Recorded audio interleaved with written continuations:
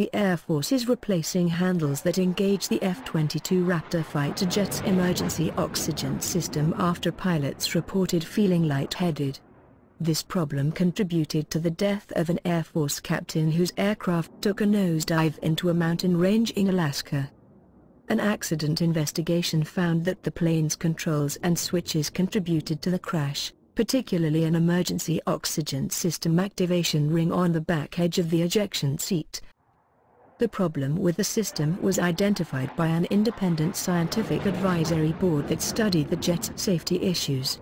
It was identified as one of the critical items to be fixed, according to Public Affairs at Luke Air Force Base, which came up with the new safer handles. The modification makes it easier for the pilot to access the handle. The Air Force has ordered 200 handles. They have already been installed in 40 F-22 aircraft. The Air Force's entire fleet was placed on temporary stand-down last summer and an investigation ensued after numerous pilots reported lightheadedness and other symptoms.